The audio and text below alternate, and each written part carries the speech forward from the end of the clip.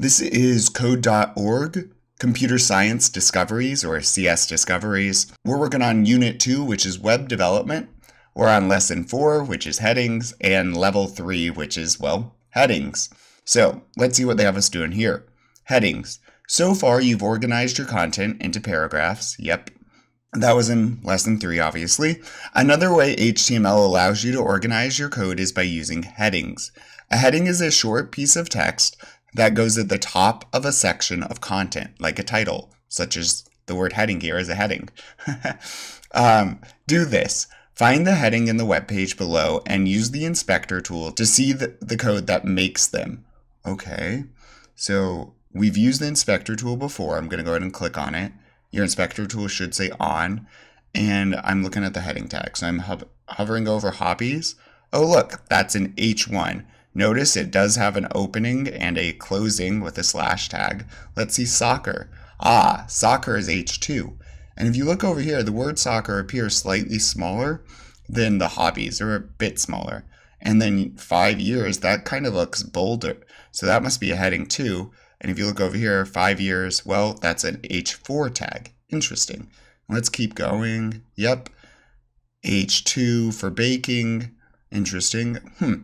This is kind of strange. It looks like they have another hobby down here, drawing, and two years, but they didn't make it a heading. They made it, well, paragraphs. Interesting.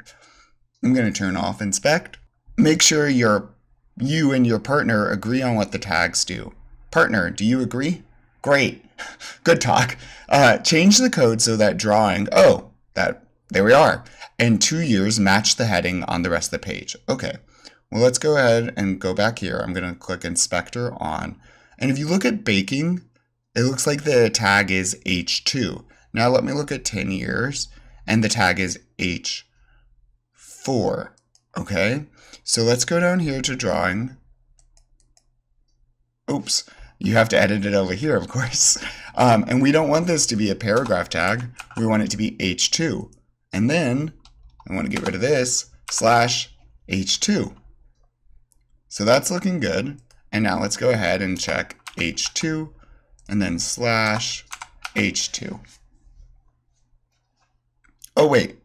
Why is this so much bigger? Oh, let's use inspect again. Hover over 10 years. Ah, the years is an H4 tag. So let's go ahead and change that. You need an opening tag in front of it. And then again, you want the slash and the closing tag.